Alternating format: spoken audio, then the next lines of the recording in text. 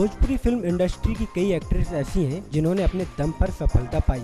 इनके माता पिता नहीं चाहते थे कि बेटी फ़िल्मों में काम करें।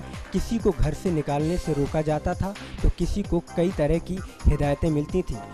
मोनालिसा की भी ग्रेट फ़िल्म में काम करने से नाराज़ हो गए थे माँ बाप मोनालिसा का असली नाम अंतरा विश्वास है। मोनालिसा हॉट सीन को लेकर काफ़ी फ़ेमस रही हैं। वहीं फ़िल्मों में काम करने से पहले कोलकाता के एक होटल में काम करती थी।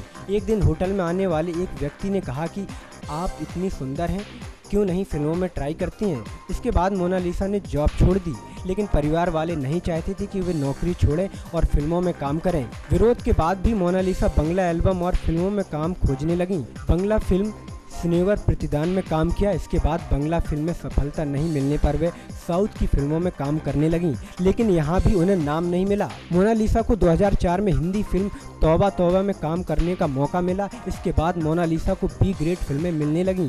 बेटी को इस तरह की फ़िल्मों में काम करता देख मोनालिसा के माता पिता नाराज़ हो गए। इसके बाद मोनालिसा भोजपुरी फ़िल्म इंडस्ट्री में आई। 2007 में भोजपुरी की पहली फ़िल्म, कहाँ जईबो राजा नज़रिया लड़ाई के मिली। इसके बाद मोनालिसा की कई भोजपुरी फ़िल्में हिट रहीं। नेक्स्ट नाइन न्यूज़ के लिए अनुज मिश्रा की रिपोर्ट।